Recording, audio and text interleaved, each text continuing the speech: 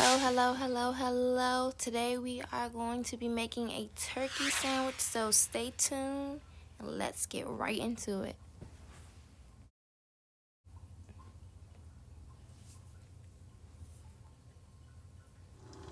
Okay, you will need bacon.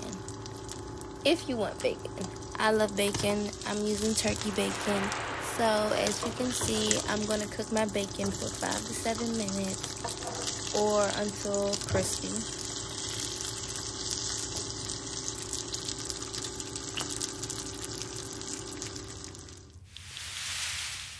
Next, you will need two slices of bread, any type of bread you prefer. Next, you will need your turkey meat. As you can see, my husband taught me this trick. I use the paper towel to remove the moisture Okay, now it's time to build the sandwich. I personally love flavor.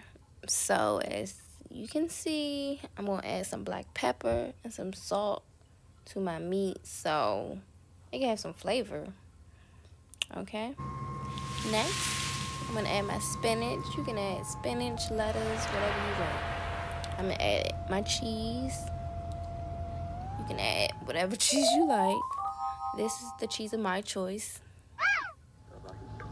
Next, tomatoes. Some people don't like tomatoes. I love tomatoes, so I'm putting tomatoes on my sandwich.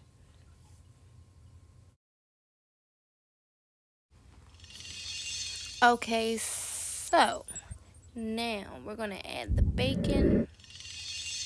I'm to add my mayo. I'm to add my mustard.